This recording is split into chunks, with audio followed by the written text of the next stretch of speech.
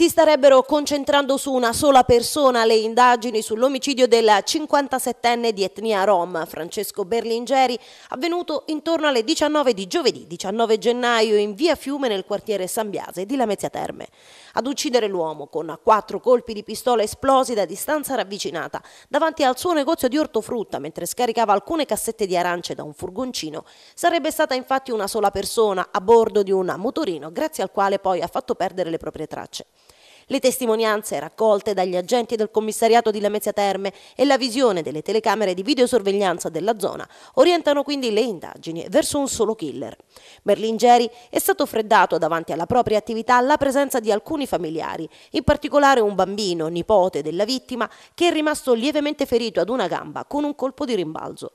Il bambino è stato subito trasportato in ambulanza all'ospedale di Lamezia Terme, ma le sue condizioni non destano preoccupazioni. Sul posto, nell'immediatezza, oltre ai sanitari sono giunte diverse pattuglie della polizia per i rilievi del caso insieme alla scientifica e i carabinieri che hanno regolato la circolazione. Sul movente al momento non si esclude alcuna ipotesi.